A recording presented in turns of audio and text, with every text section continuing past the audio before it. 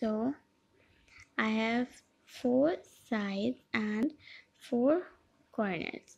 मेरी opposite sides क्या हैं?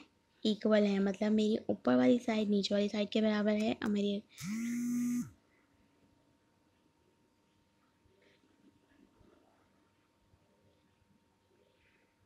और मेरी right hand side left hand side के बराबर है। I stand straight like a square but my length is different from my width मैं स्क्वायर की तरह सीधा बनाया जाता हूँ बट मेरी जो लेंथ है, मेरी वेथ से बराबर नहीं होती। मेरी जो लेंथ है, जो मेरी लंबाई है, वो ज़्यादा है और मेरी जो विथ है, वो कम है। Next we have a shape of a rhombus I am a rhombus perhaps you have seen me in pack of cards आपने ताश के पत्तों को देखा है? उसमें आपने एक, अगर आपने उस जो है वो कार्ड्स को देखा होगा तो उसके अंदर एक कार्ड होता है जिसके ऊपर डायमंड बना होता है।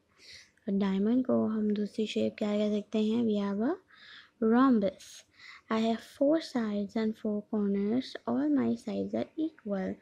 तो हमारे पास फोर साइड्स हैं और फोर शार्प एजेस कॉर्नर्स हैं और सारी की सारी एजेस क्या होती हैं?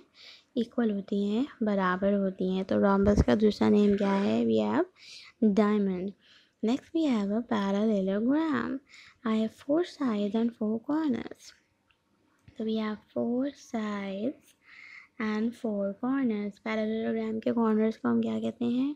वर्टिसेस क्या कहते हैं? Vertices but unlike square than rectangle I like to lean इसका मतलब है, अगर हम रेक्टेंगल को थोड़ा टेढ़ा कर देंगे तो वो क्या कहलाएगा?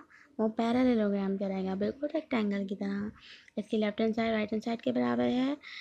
Up up side down side के बराबर है बट रेक्टेंगल सीधा बनाया जाता है और पैरालेलोग्राम को थोड़ा सा टेढ़ा बनाते हैं।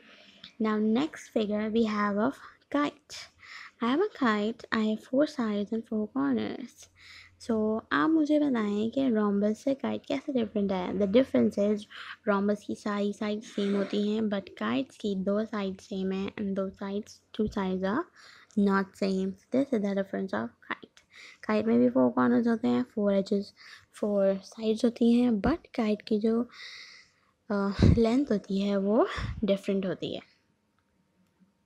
Next we have polygons polygons का मत पॉली मीन्स बहुत सारी और गॉन्स मीन्स साइड्स तो ऐसी ऐसी शेप ऐसी फिगर जिसकी बहुत सारी साइड्स हों उनको हम क्या कहते हैं?